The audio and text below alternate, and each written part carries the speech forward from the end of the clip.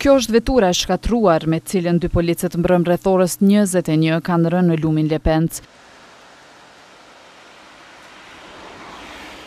pikërisht në magjistralen Kaçanik-Hani i Elezit, ku ndodhi aksidenti, pjesëtarë jo të paktë të FSK-së dhe policisë janë bërë bashkë në kërkim të trupave të tyre.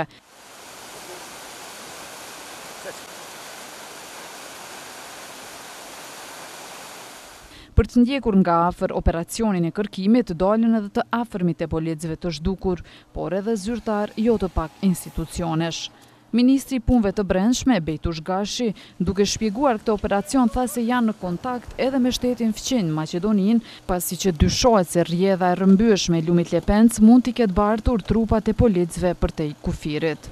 Kemi, jemi në kontakt edhe me Maqedoninë, ku janë marrë masa se sipas informacioneve që mora tani, ky lumë ka një rrjedhë jashtëzakonisht shumë shpejtë, i cili i cili mund të ndodhë, të mon, hipotetikisht se mund t'i ketë bartë edhe, edhe përtej kufinit.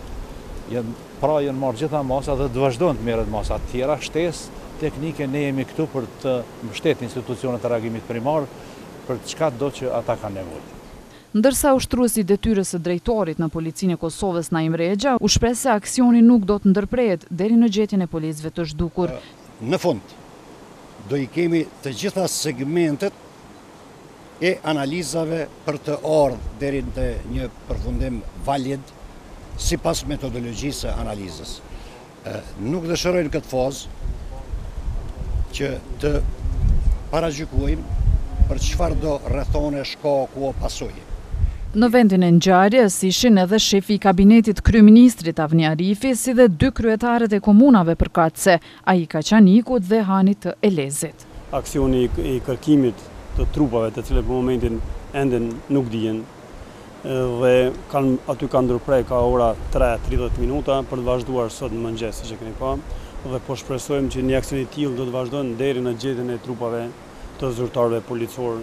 Domethënë nga orët e mbrëmjes, ne kemi qenë personalisht bashkë me qytetarët, me policinë, FSK-në, edhe vetë personalisht kam qenë në ujë, domethënë tu i kërku trupat e dy policëve.